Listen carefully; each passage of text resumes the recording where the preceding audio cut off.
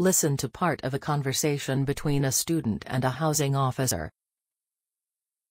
Good afternoon, can I help you with something today? Maybe so. The paint in my room is peeling off, and I am getting paint chips all over the place. So, I have been trying to get my room repainted, and applied for maintenance to repaint the wall. But, it's been more than a month now, and nothing's been done. That's strange.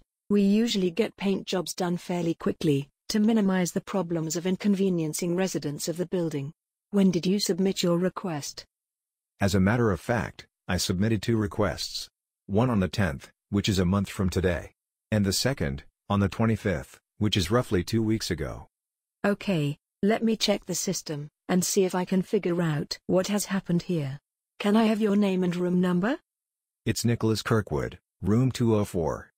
Alright. Hmm, the painter has been around your room twice. First one, on the 12th in the morning, and the second, on the 27th in the afternoon. And, it looks like nobody was home. Of course, no one is home. I have classes in the morning and the afternoon. Well then, you didn't check the box on the form you submitted, to give permission to let the maintenance personnel in your room when you were out. Which is why he couldn't get in to paint the room. Oh, I didn't know I was supposed to check the box. What should I do now? It's just an oversight. You can fill out another request form, and make sure to check the permission box, to allow access to your room. Okay, that's pretty simple. I think I can do that.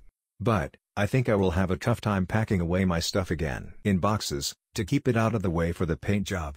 I've got a lot on my plate right now, with two papers due next Monday. And, I have a final presentation I need to prepare for tomorrow. I see. Then, you may want to submit your request after you have packed your stuff into boxes. The painter will likely come around within two business days once you've submitted your form. Okay, I'll definitely make sure to do that. Question 1. Why does the student go to see the housing officer?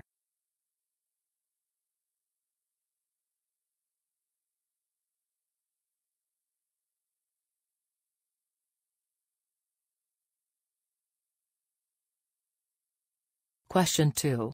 Which of these statements about the student is true?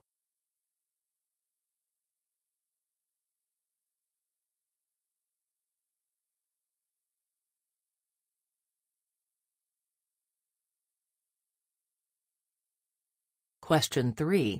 Listen again to part of the conversation. Then answer the question. What does the student mean when he says this? I've got a lot on my plate right now, with two papers due next Monday.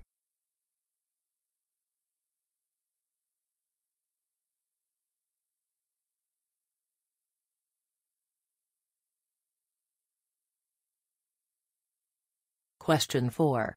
What does the housing officer suggest the student do?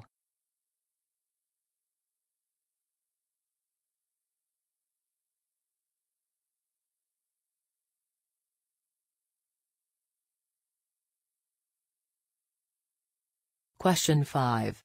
What will the student most likely do next?